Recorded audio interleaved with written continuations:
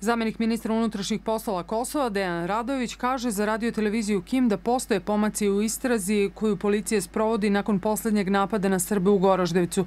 Ipak zbog istrage, koja još uvek traje, ta saznanja nije želeo da podeli sa javnošću. Moje saznanje su da postoji napredak u istrazi.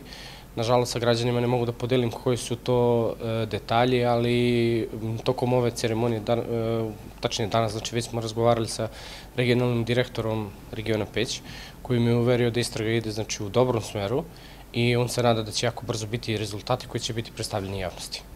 Nakon napada u Goraždevcu, kada je pucano na kuću Saše Petrovića i kada je uništen spomenik žrtvama NATO bombardovanja i deci stradalo i u Bistrici, predstavnici Srba u vladi Kosova razgovarali su sa premijerom Kosova Isom Mustafom i direktorom policije Špendom Mađunijem o povećanju broja Srba u policiji.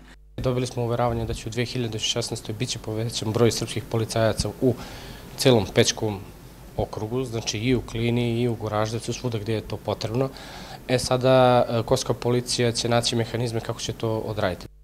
Zamenik direktora policije Kosova Dejan Janković kaže da je policija u posljednje vreme naročito aktivna u povratničkim sredinama gde su u proteklom periodu zabeleženi napadi na Srbe. Dajemo mi svoj doprinos, e, međutim, očigledno da smo ovaj, da nismo svemoćni, tako da uvek ovi kriminalci i oni koji misle zlo, koji misle da nanesu zlo, dođu do svog momenta.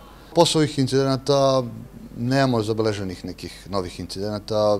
Opet život se, da kažem, vraća u normalu i policija, što se tih incidenata tiče, ovaj, vrši istragu. Znači, ja se nadam skorim rezultatima.